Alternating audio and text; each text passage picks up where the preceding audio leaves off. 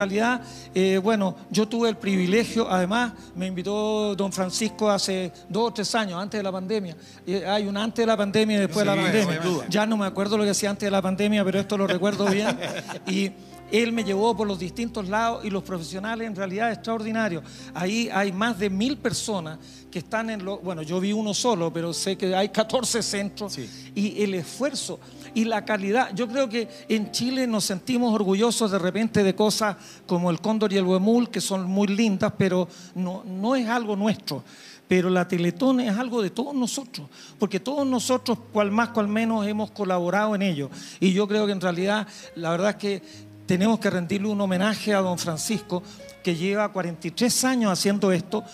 Pocas veces en Chile alguien hace sistemáticamente lo mismo, exitosamente lo mismo, durante 43 años.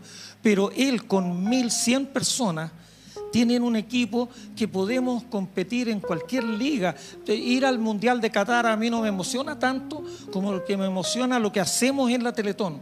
Pueden venir de Alemania o de Suecia y pueden aprender de lo que se está haciendo aquí en la Teletón.